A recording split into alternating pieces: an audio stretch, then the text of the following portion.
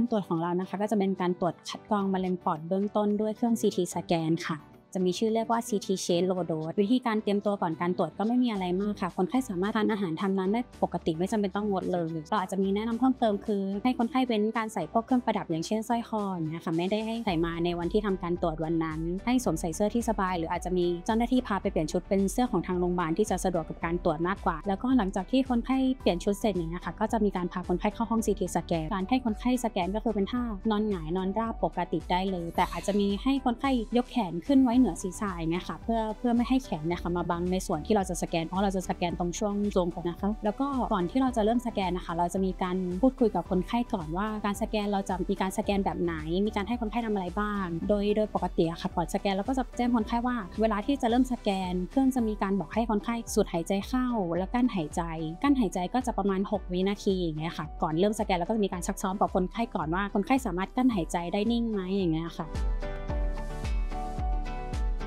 แล้วหลังจากที่สแกนเสร็จเครื่องก็จะบอกให้คนไข้หายใจออกได้ครับปกติได้เลย ก็จะเอาคนไข้ออกจากเครื่องแล้วก็ให้คนไข้เปลี่ยนชุดได้เลย